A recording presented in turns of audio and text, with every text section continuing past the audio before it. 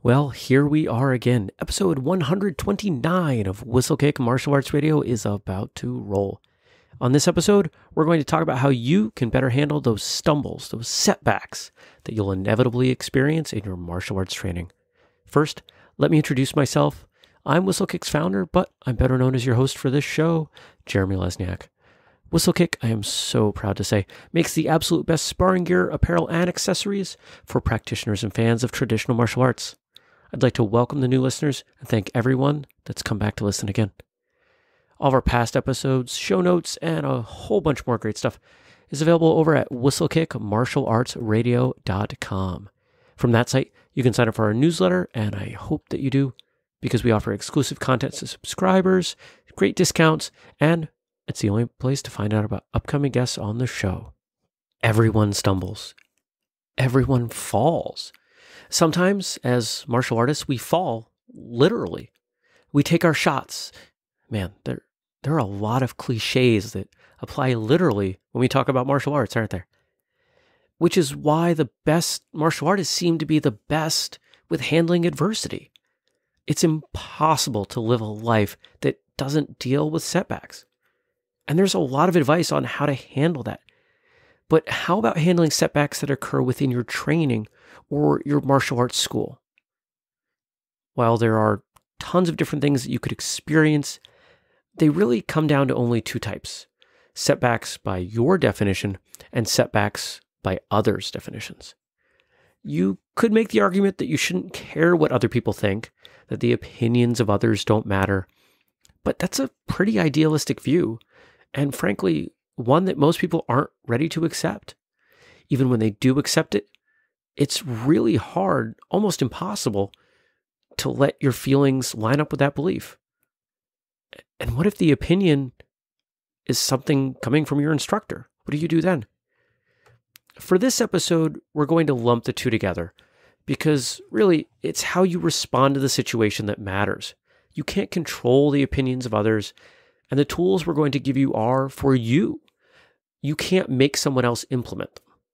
Besides, if someone sees what you've done as a setback and you don't, does it matter? You may have noticed that I didn't use the word failure in that intro, and that's for good reason. I actually won't let people use that word when I'm teaching, especially the way some use it today, describing something as a fail, meaning a poorly executed attempt. The word failure has a finality to it. You've failed, you're done. There are no other options. In martial arts, there's almost always another option, another chance to try. I'd encourage you to look at that word's usage in your life if you do use it. Words have a lot of power, which brings us to our first bit of advice choose your language and stay positive. Ours is a world where tech speak and slang abound, whether we like that or not. Every word, every single word has a meaning and an energy behind it. And the words that you choose have an effect on your being and everyone around you. Let's say you've competed at a tournament and you've completely botched your form. If it's your first time, you might be tempted to make a lot of excuses. I didn't know what I was doing, or I'm no good at this. Those word choices have significant impact and can actually program your subconscious over time. If you keep saying, I'm not good at this, guess what? You're never going to be. It takes your mind to lead your body in a direction. And you won't catch me letting anyone talk like that in a class that I'm teaching, whether it's martial arts or something else. How do you handle that situation then? You have to say something, right? There are probably people there that you know. At the very least, you're going to talk to yourself you're disappointed, you're hurt with your outcome. You could say, I know a lot more than I did coming in, or this is a challenge I'm willing to take on, or maybe it's something you just wanted to do once. Well, I got out there and I did my best, and it didn't go the way I wanted, but now I know. If you think about the facial expressions that people would have when they're saying these things, you can see that the three that I mentioned at the end are far more positive than the first two that I said. That positivity is absolutely key to overcoming any setback, whether it's in life or in martial arts, whether it's a botched form at a competition or a failed rank exam. Second bit of advice admit your mistakes.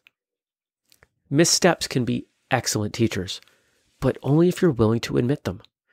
I'm not talking about literal missteps or you settling into the wrong stance during basics. I'm talking about real errors and most likely the kind that makes you say, I knew better. Martial arts classes can be emotional places. They're often hot, there's a lot of energy, and sometimes there's a competitive edge that can come between people.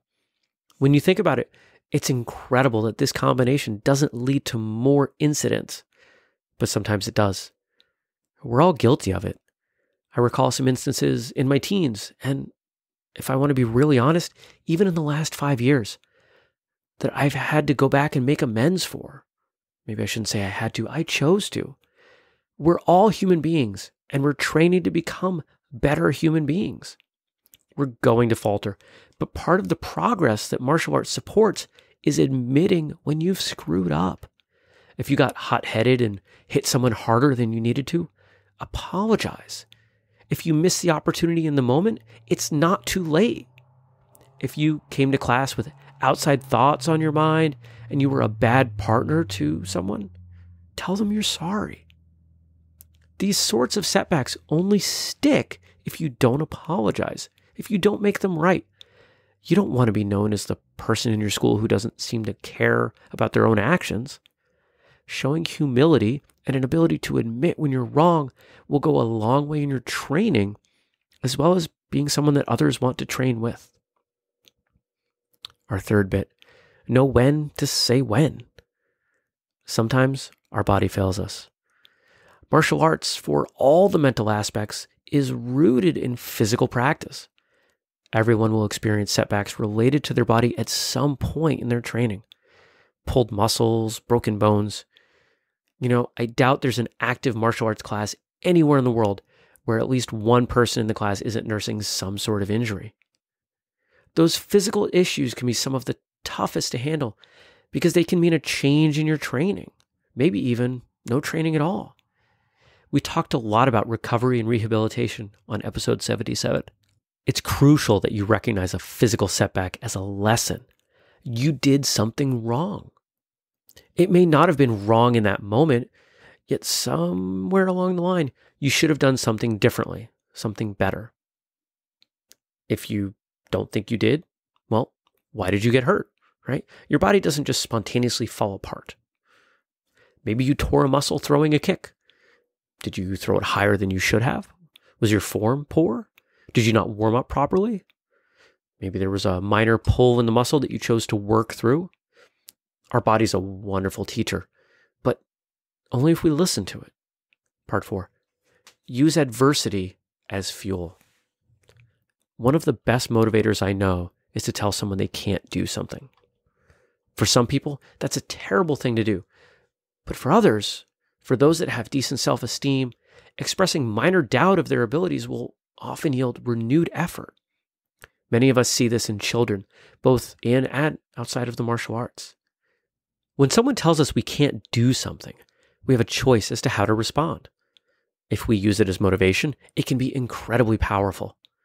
We talked about positive language earlier in the episode, and this is positive thinking. When someone says you can't and you say you can, it's no wonder this is effective. You've already decided on the outcome which is why it's important to take your lumps and redouble your efforts. If your sidekick isn't looking so good, practice it. If you're embarrassed at the way it looks, use that as inspiration to go back and improve. Practice it until it's good. Practice it until not only are you not embarrassed, but other people are pointing at your sidekick and saying, I want to do it like them. Practice it until you know you've got it down because you deserve to have a better sidekick. You are the only one standing in the way. One of my favorite motivational quotes comes from the Rocky movie Balboa. This is only part of it. We'll link the video and full quote and text over on the show notes. whistlekickmartialartsradio.com. There's also going to be a transcript of today's episode over there. And here it is. It's about how hard you can get hit and keep moving forward. Or to say it in another way with another quote, success can be defined in many ways, but failure with only one quitting. Whatever the setback, take it as a challenge.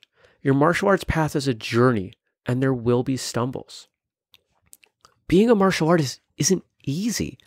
That's why so few people try martial arts, even fewer stay in it, and fewer still earn their black belt.